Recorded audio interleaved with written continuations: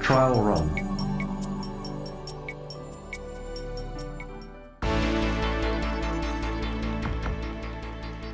Main engine trial run from the control room console is carried out in two modes, the lever control mode and the direct switch control mode.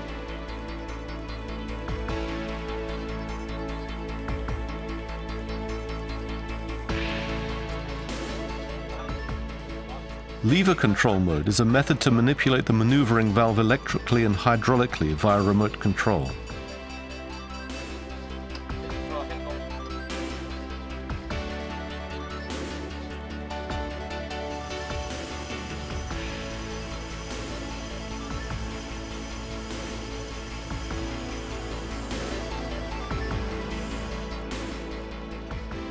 Direct switch control mode uses switches for direct control on the control room console to directly open, close the maneuvering valve electrically and hydraulically in the event the lever control mode control circuit has failed.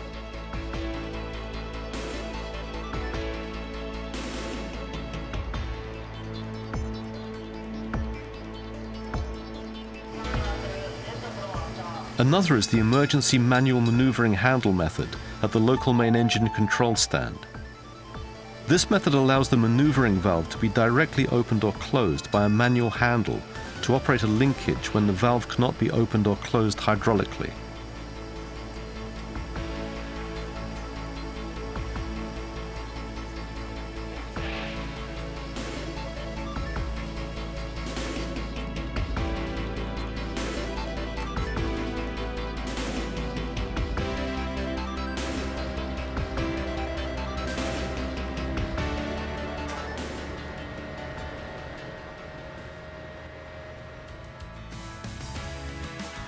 As explained so far, a steam turbine powered ship becomes ready for sailing after warming up preparation, warming up operation, trial run preparation, and trial run, all unique to turbine ships.